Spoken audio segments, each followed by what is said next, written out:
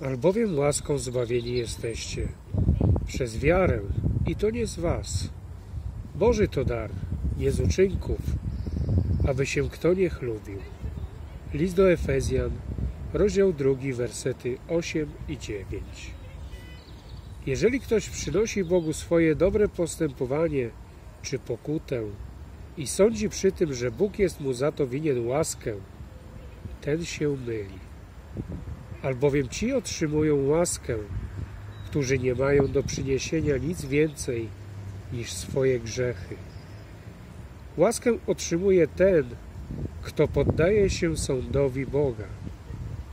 Pewien człowiek, który siedział w więzieniu, napisał do mnie z prośbą, abym napisał podanie o ułaskawienie go.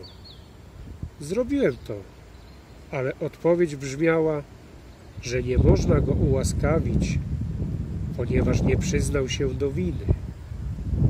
Pomyślałem sobie wtedy, że tak samo jest z nami przed Bogiem. Musimy przyznać się do winy, a wina nasza opisana jest w liście do Rzymian, rozdział trzeci, wersety od 10 do 18. Przyznajemy się do winy mówiąc nie widzę, abym był taki zły, jak tu jest napisane.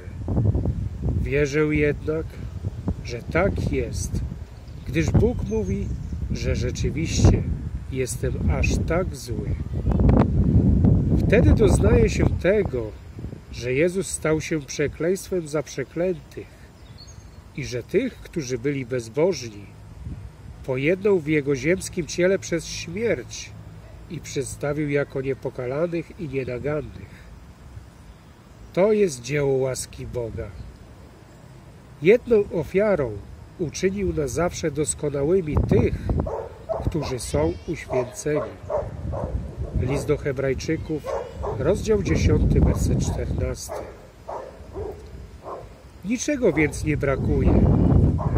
Dzieło zbawienia dokonane zostało w pełni dla nas, ludzi, którzy żyliśmy w grzechu i służyliśmy Jemu, którzy przebywaliśmy w ciemności, w cieniu śmierci, w ślepocie serca.